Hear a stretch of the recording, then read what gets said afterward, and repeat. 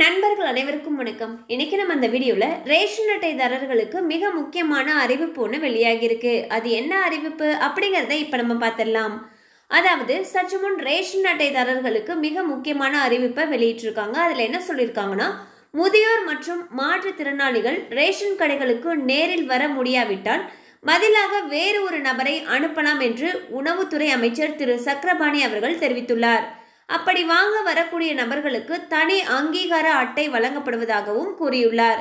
மேலும் முதியோர் உதவித்தொகை வாங்குவோருக்கும் அங்கீகார அட்டை வழங்கப்படுவதாக குறிப்பிட்டுள்ளார். ஸோ வந்து யார் யாரெல்லாம் வந்துட்டு ரேஷன் கடையில் போயிட்டு அவங்களுக்கான பொருட்களை வாங்க முடியலையோ அவங்களுக்காக ஒரு நபர் போய் வாங்குவாங்க இல்லையா அவங்களுக்கு வந்துட்டு ஒரு ஐடி கார்டு மாதிரி கொடுப்போம் அப்படின்னு சொல்லி சொல்லியிருக்காங்க. ஸோ அது விரைவில் வெளியிடப்படும்னு சொல்லியும் சொல்லியிருக்காங்க. இதனால் இந்த சம்மந்தப்பட்ட முதியவர்கள் அல்லது மாற்றுத்திறனாளிகள் உங்களால் ரேஷன் கடைக்கு போக முடியலனா இனிமே ப்ராப்ளம் இருக்காது. உங்களுக்கு பதிலாக வேறு ஒரு நபரை போகிறதுக்கு நீங்கள் வந்து அனுமதி கொடுக்கலாம். ஸோ அவங்கக்கிட்ட உங்களுக்கு தேவையான உங்களுக்கு வரக்கூடிய அனைத்து விதமான பயன்களும் தரப்படும் அப்படின்னு சொல்லி சொல்லியிருக்காங்க. கண்டிப்பாக இந்த அப்டேட் உங்களுக்கு பயனுள்ளதாக இருந்திருக்கும் நம்புகிறோம் மேலும் இது போல செய்திகளை உடனுக்குடன் தெரிந்து கொள்ள நம்ம சேனலோடு தொடர்ந்து இணைந்திருங்கள். தேங்க்யூ ஃபார் வாட்சிங்